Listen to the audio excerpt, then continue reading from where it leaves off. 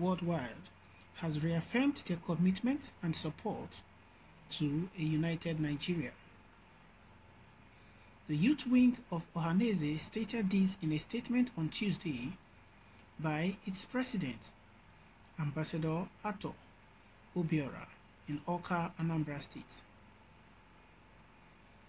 The group was reacting to the activities of the pro-Biafra groups like the Indigenous People of Biafra, IPOB, who have intensified their separation demands following the End SARS protests. According to Ohanaeze youths, Nigeria would become great when all the regions of the country work together as one people. We, the young people of the Igbo-speaking area, under the auspices of the Ohanaeze Ndigbo Youth Wing Worldwide, wish to use this medium to call for calm and restoration of law and order in the country. We state categorically that we are in total support of the hashtag EndSARS protests, demanding an end to police brutality, extortion, fortune and killings of innocent citizens, especially young persons by different units of the police force, with special emphasis on SARS.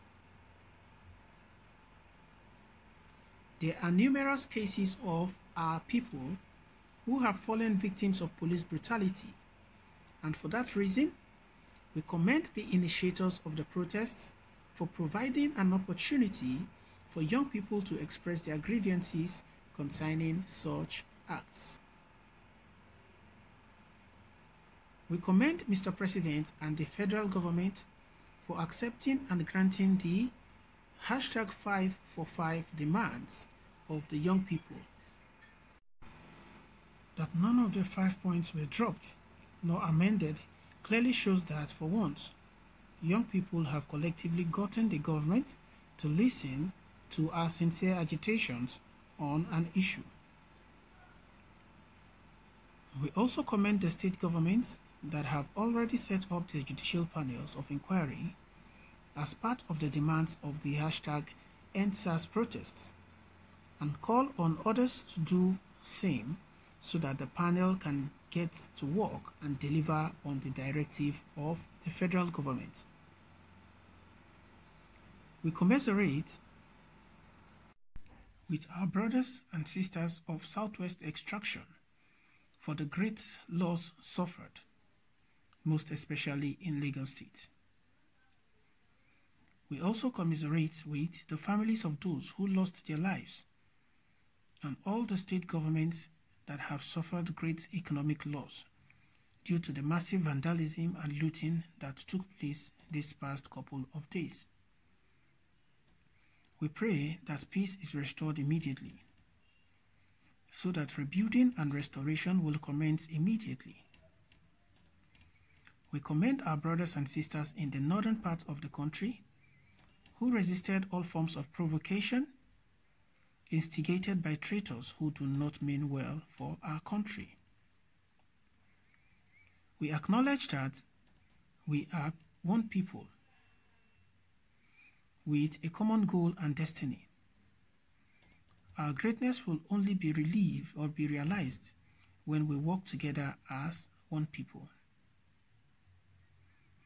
Ohanaeze calls on every young person to desist from acts and utterances that are aimed at plunging this country into chaos.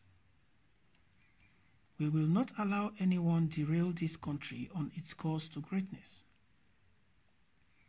Finally, Ohanaeze would like to reaffirm and pledge our commitment and support to a united Nigeria.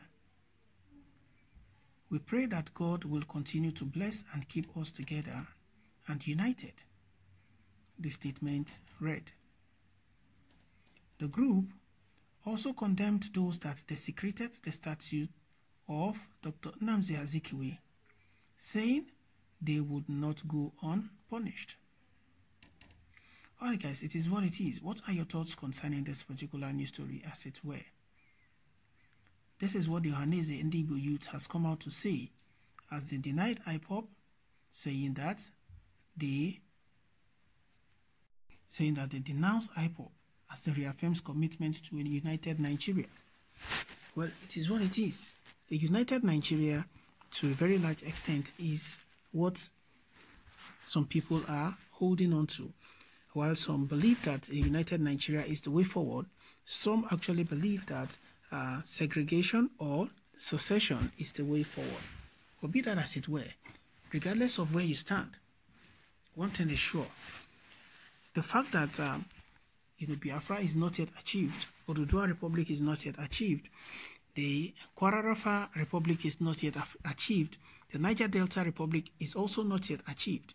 It goes a long way to show that uh, people at this particular point in time needs to uh, stay strong and hold on with Nigeria, as it were. So be that as it is, guys, what are your thoughts concerning this particular news story at the moment? So just as it is, well, we need to um, see how things go forward in this particular regard. One would expect that the people of the southeast should be together. One would expect that the people of the southeast should actually, um, you know, work hand in hand in tandem to uh, pull forth and achieve greater things.